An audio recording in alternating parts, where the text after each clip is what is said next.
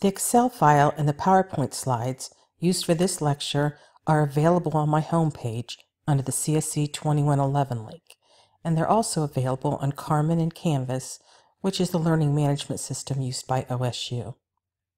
Please follow along with the PowerPoint slides as I talk about each subject. The rank function returns the rank of a number in a list of numbers. Syntax rank.eq number, comma ref, comma order. Notice the order argument is in brackets, meaning it is optional. The number argument is the number whose rank you want to find. The ref argument is the array or range of values to rank, and the order argument is a number specifying how to rank the numbers.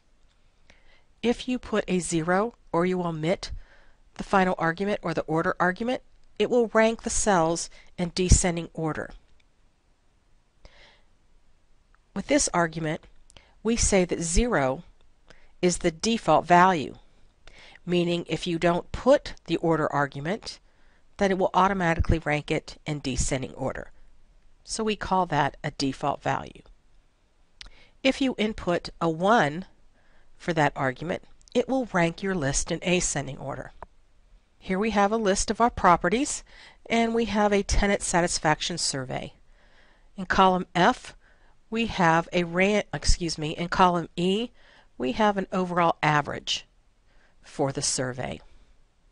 In column F, we want to rank our apartment complexes based on their overall score. I'm going to type in equals rank dot eq. Okay, the number that I want to rank in this case is in cell E3 because at this point I'm ranking the Lake Shore Realty properties. I'm ranking it with all of the other property scores. Because I want to rank the list in ascending order, I will put a 1 as the final argument. When I copy this down, I want the range to stay the same, so I need to put a dollar sign in front of the 3 and a dollar sign in front of the 7. And then I can copy it down.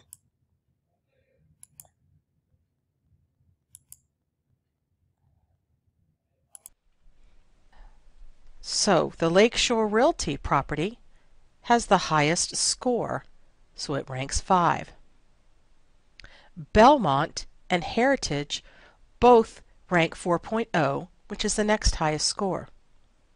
Notice they tie, so they both have a 3 in the ranking and there is no 4.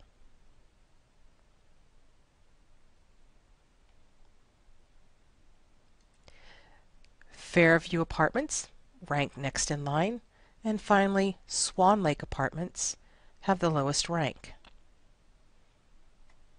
Let's go back to cell F3 and let's say I wanted to rank this in descending order. Just put a 0 here for the argument.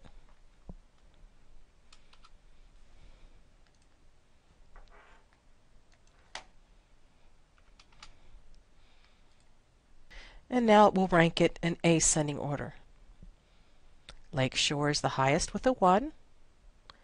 Belmont and Heritage, again, they tie with a 2. There is no 3 because we have a tie. Fairview is 4 in the rank. And Swan Lake Apartments is 5.